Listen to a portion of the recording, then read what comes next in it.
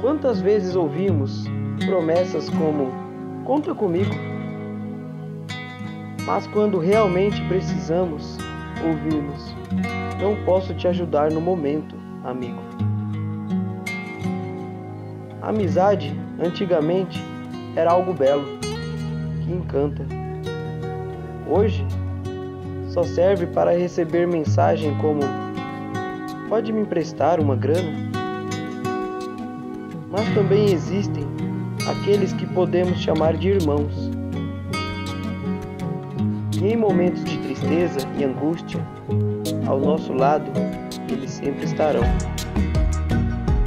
Amigos não são apenas para momentos de júbilo e comemoração.